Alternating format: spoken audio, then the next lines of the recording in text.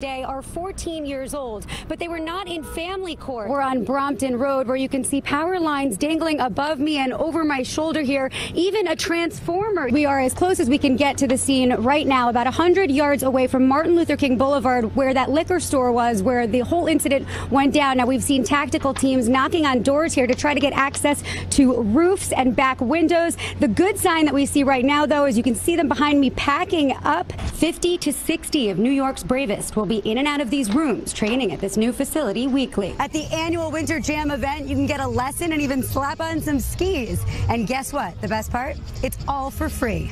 Let's try this out. Here we go. In Central Park, Tara Jakeway, CBS 2 News. At just the right time, the rain stopped